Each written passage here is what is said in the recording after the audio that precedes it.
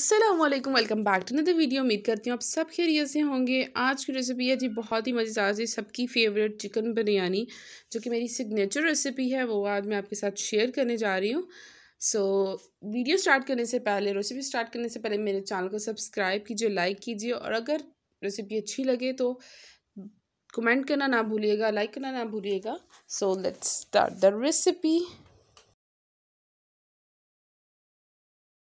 सबसे पहले जी यहाँ पे मैंने वन के जी राइस ले लिए हैं।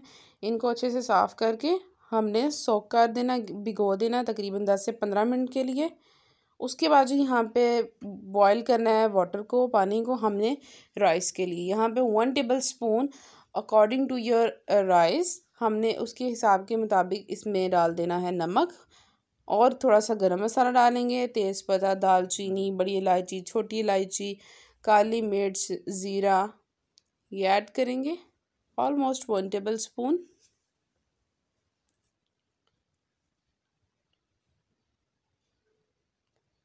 उसके बाद जो इसमें ऐड करेंगे ग्रीन चिलीज़ दो से तीन ग्रीन चिली ले लेनी है, वो आपने ऐड करनी है बीच में।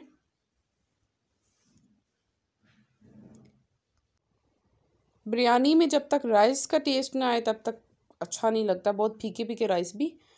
अच्छे नहीं लगते। सो यहाँ पे जो पानी हमारा बॉईल हो चुका है,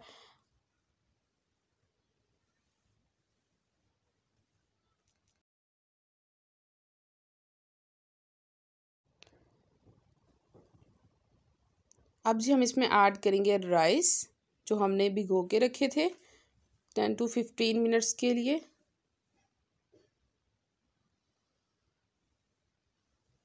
और यहाँ पे अब हम राइस को बॉईल करेंगे।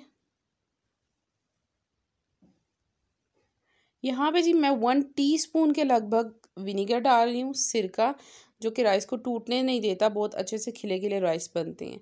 सो so, यहाँ पे जी आठ से दस मिनट के लिए तकरीबन हमने राइस को बॉईल करना है। एक कनी छोड़नी है जो कि दम में अच्छे से बन कुक हो जाएगी गल जाएँगे। यहाँ पे एक कनी छोड़ के हमने राइस को बॉईल कर लेना है।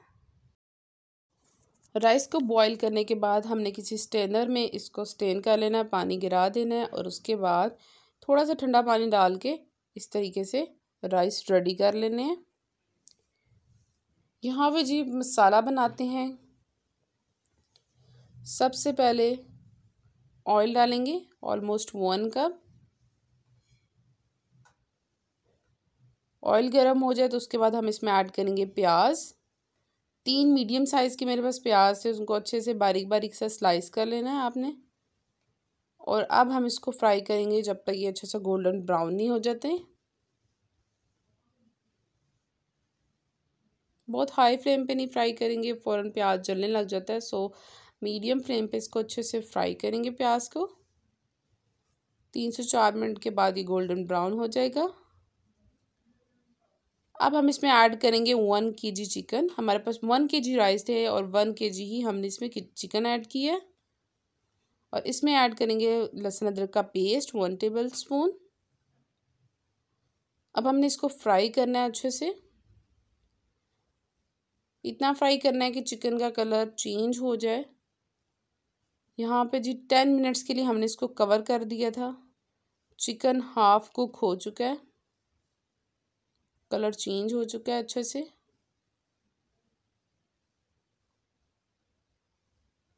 मीडियम फ्लेम पे रख के आपने इसको फ्राई करना है। इसमें कोई पानी वगैरह ऐड नहीं करेंगे हम। उसके बाद इसमें हम डालेंगे टमाटर। यहाँ पे मेरे पास तीन टमाटर थे, ब्लेंड कर लिया था मैंने उनको। आप चाहें तो क्यूब्स में भी काट के टमाटर ऐड कर सकते हैं। दही डालेंगे वन कप उसके बाद जी स्पाइसेस की बारी आती है, यहाँ पे स्पाइसेस हम ऐड करेंगे. सॉल्ट लेंगे according to your taste red chilli लेंगे वन टेबल स्पून धनिया पाउडर लेंगे वन टेबल स्पून बिरयानी मसाला लेंगे फोर टेबल स्पून गरम मसाला लेंगे वन टेबल स्पून हल्दी लेंगे वन टीस्पून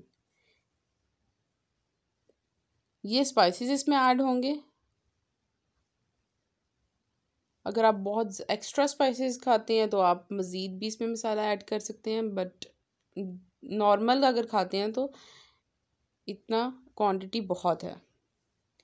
अब इसको अच्छे से हमने भुनाई करना है और मीडियम फ्लेम कर देने ताकि चिकन अच्छे से गल जाए दही और टमाटर के साथ ही। मज़ीद कोई पानी वगैरह ऐड नहीं करेंगे। फिफ्टीन मिनट्स के लिए बस आप इसको छोड़ देंगे और ये अच्छे से कुक हो जाएगा। यहाँ जी फिफ्टीन मिनट्स हो चुके हैं चिकन अच्छे से कुक हो चुका है और यहाँ मसाला ये देख लें, आप रेडी हो गया ऑलमोस्ट अब हम ऑयल ऊपर आ चुके हैं, अब हम इसकी बुनाई करेंगे चार से पाँच मिनट के लिए।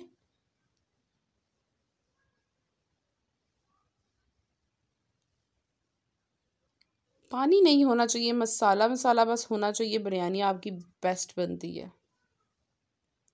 इस तरीके से। जस्ट मसाला मसाला हो, पानी बिल्कुल ड्राई हो जाए दही का। अब जी यहाँ पे सेम कढ़ाई में से हमने निकाल लिया है चिकन और यहाँ पे ऑयल ऑयल नीचे छोड़ दिया है ताकि राइस नीचे ना लगे। अब हम फ़र्स्ट लेयर देंगे राइस की। उसके बाद जी यहाँ पे डालेंगे हम चिकन यहाँ पे कुछ हरी मिर्चें थी, मैंने इनको फाइन चॉप करके वो भी चिकन के ऊपर डाल दिया था। बड़ा अच्छा सा टेस्ट आता है, एक फ्लेवर आ जाता है ग्रीन चिलीज से भी। सेकेंड लेयर अगेन राइस की एंड थर्ड लेयर चिकन की एंड लास्ट लेयर अगेन यहाँ पे जी राइस बॉयल राइस की और इसको हम कर देंगे सेट ऊपर से जी टॉपिंग के लिए हम डालेंगे यहाँ पे पुदीना। बहुत ही अच्छी सी खुशबू आती है। लीमू डालेंगे, कटे हुए, बारीक कटे हुए लीमू ऐड करेंगे। उसके बाद जी आपके पास येलो कलर हो तो येलो ऑरेंज हो तो ऑरेंज आप वो ऐड करें कलर ऐड करें थोड़ा सा पानी में मिक्स करके वो ऐड कर दें और लास्ट में यहाँ पे ग्रीन चिलीज जाएँगी। और उसके बाद जी दम, तकरीबन दस से पंद्रह मिनट के लिए हमने लो फ्लेम पे इसको दम दिया। और यहाँ पे जी हमारी राइस रेडी हो चुकी है। उम्मीद करती हूँ मेरी रेसिपी आपको पसंद आएगी। ट्राई कीजिए, मुझे फीडबैक देना मत भूलेगा मिलती हूँ आपसे एक नई रेसिपी के साथ। अल्लाह